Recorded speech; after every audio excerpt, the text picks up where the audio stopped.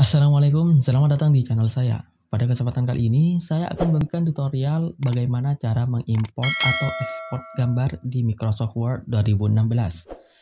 Perlu diketahui, jika kita mengimport gambar, artinya kita memasukkan gambar dari file penyimpanan di komputer ke Microsoft Word. Sedangkan export artinya kita menyimpan teks atau objek dari Microsoft Word ke file penyimpanan di komputer dalam bentuk gambar.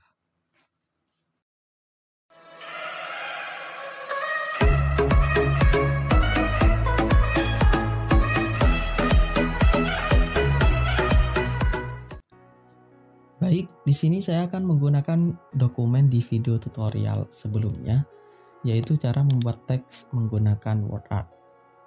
Oke, yang pertama cara untuk mengimport gambar, yaitu bisa dengan drag and drop. Cukup Anda siapkan filenya, kemudian tarik ke dalam Microsoft Word seperti ini.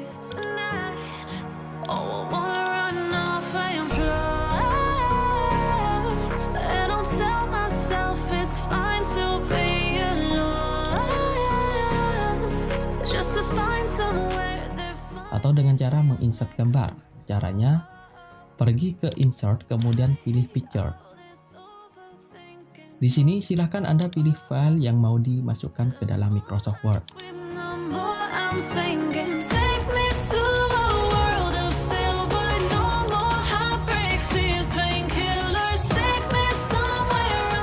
Atau Anda bisa menggunakan tombol pada keyboard. Caranya, tekan tombol Alt, lalu tekan tombol N, kemudian tombol P. Alt, plus N plus P. Tekannya tidak bersamaan. Baik, itu semua adalah cara untuk menginsert gambar. Sekarang cara untuk mengekspor atau menyimpan teks yang kita buat di Microsoft Word menjadi gambar berformat JPG atau PNG.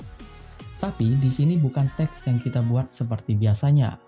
Yang saya maksud di sini adalah teks Word Art, Shapes, Smart Art, Chat, dan Screenshot. Ini semua bisa disimpan dalam bentuk gambar. Contoh, saya akan buat teks word art seperti ini.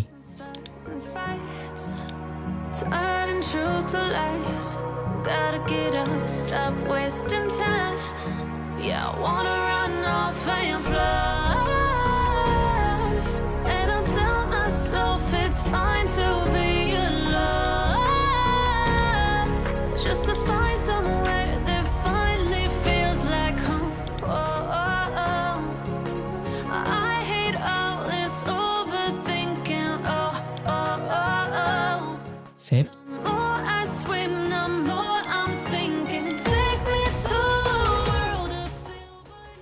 Smart Parts.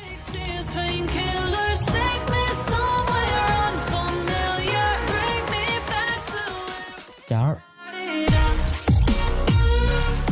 Dan screenshot.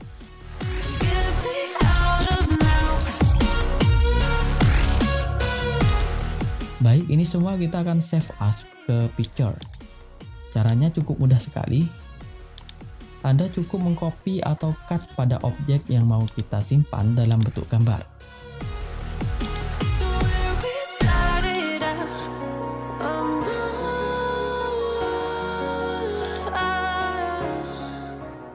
Kemudian, paste optionnya pilih picture.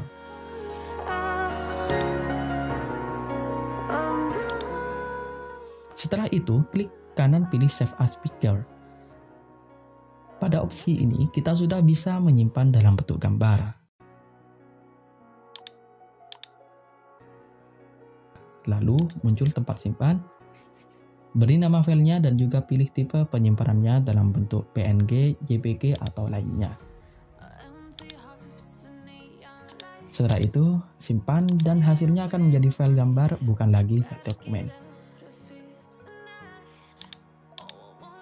Yang lainnya juga sama, intinya kita lakukan copy, kemudian paste optionnya pilih picture.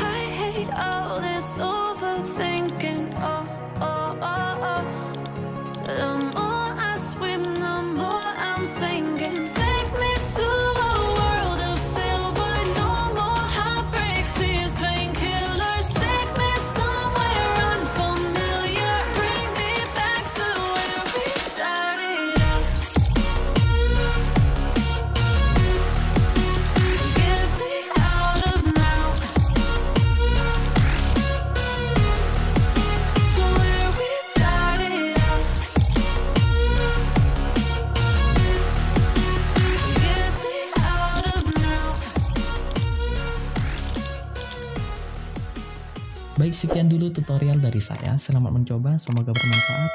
Jangan lupa untuk like, subscribe channel ini. Terima kasih. Wassalamualaikum.